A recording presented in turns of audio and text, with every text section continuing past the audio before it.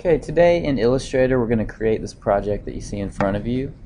It's uh, basically a little tool logo. So I'm going to close out, click on Print Document, and let's name it Tool Logo.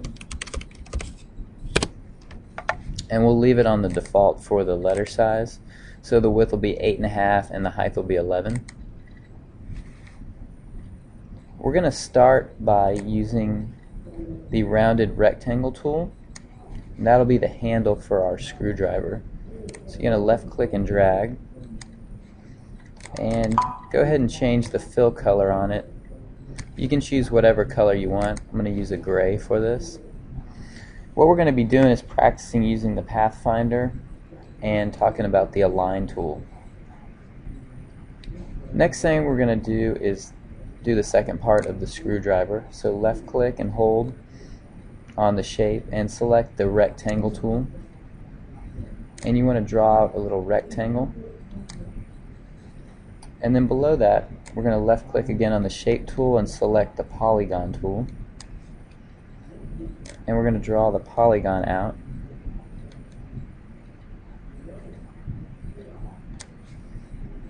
and use the selection tool when you want to move it down here.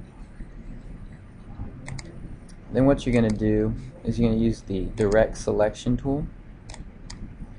Select one of the points and drag it down and then select the other point and drag it down.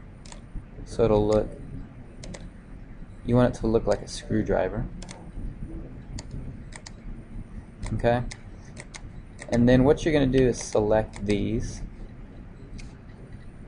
and go to where it says align and if you don't have that you can go to Windows and select align go to the align tab and while all three are selected you're going to click where it says horizontal align center and that will line them up and I'm just going to change this one a little bit so it's a little more even there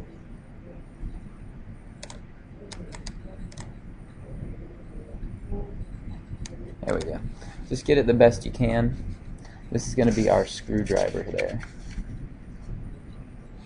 So once you have those, we're going to do some stuff with the handle here. You're going to hold down on the shape and select it, select round, rounded rectangle tool.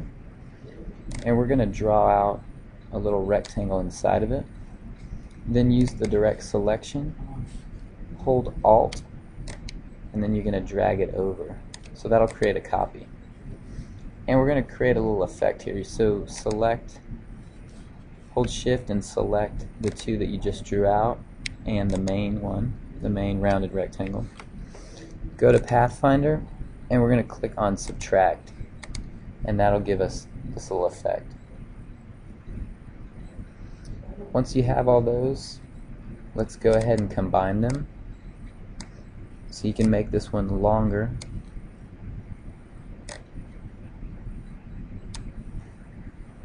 There we go, and you want to line it up so it looks correct.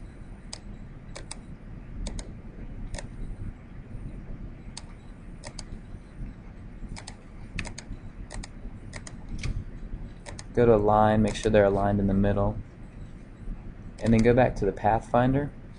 While they're all three selected, and you click on Pathfinder, do add to shape area. And they'll all be on one shape. Next thing we're going to do is draw out our wrench. So we're going to left click and hold on the shape tool and use the ellipses tool. And you want to hold shift and then left click and drag to make your circle. This is going to be our wrench. Then we're going to left click and hold on the shape tool again and select the rounded rectangle. And you're going to left click and drag out and use the selection tool hold shift and you want to select both of them and go to align. And we're going to click horizontal align center so they're aligned. Then go to the pathfinder and click subtract. And we have the beginnings of our wrench. Now we need to draw the handle so we're going to click on the rounded rectangle again. And we're going to draw it out here. So that will be the handle and what we're going to do is use the star tool. And we're going to draw out a star on it.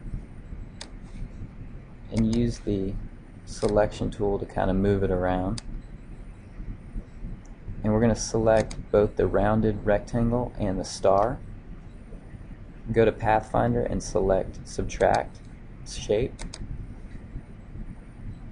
And we can also repeat that say you want to do it up here at the top.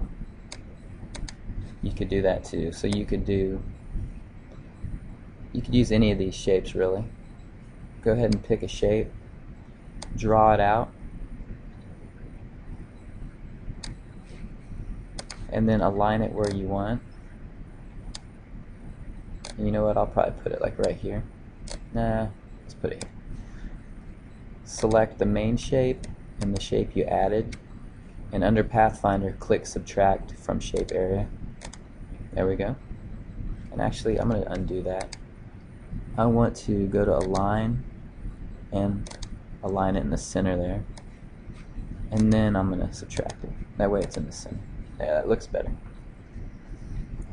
Once you have all those select the uh, rounded shape as well as the handle. And under Pathfinder click add shapes or add to shape area. So now we have our two um, our screwdriver and our wrench. So we're going to align them now. So you want to select the, the uh, screwdriver. Hold shift while you drag it and that'll let you drag it at a 45 degree angle. And we're going to align this one here and we'll select them both and then we'll go back to align and horizontal line in the middle.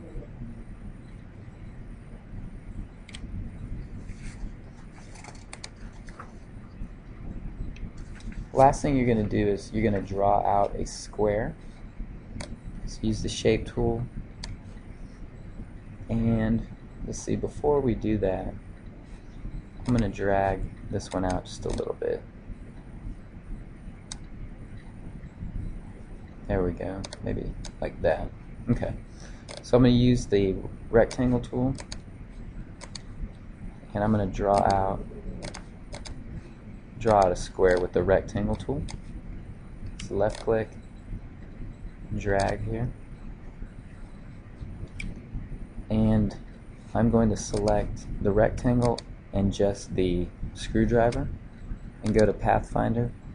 And I'm going to select subtract from shape area and that's going to give us a cool little design.